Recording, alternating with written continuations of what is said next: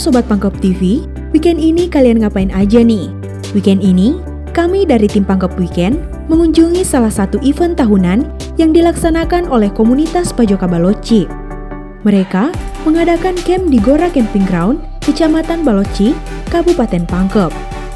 Rahmat Izul Haq selaku Ketua Pajoka mengatakan untuk tahun ini mereka mengadakan berbagai rangkaian acara seperti tur turis, camping, kars musik, pameran UMKM, talk show, dan di akhir acara, mereka melakukan penanaman pohon di sekitar lokasi XPT Gora Gahana, yakni bekas area pertambangan. Seperti yang kita ketahui, bahwa pohon sangat penting bagi kita semua.